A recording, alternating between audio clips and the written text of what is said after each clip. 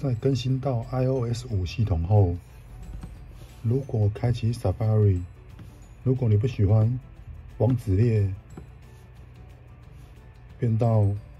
荧幕下方的话，想要改回跟以前一样移到荧幕最上面的话，你可以到设定，嗯，找到 Safari，然后往下移，找到标签页。把标签页调成单一标签页，然后再开启 Safari，哦，你的网址列就会跑到这上面去了，就会跟以前一样，好，就这样。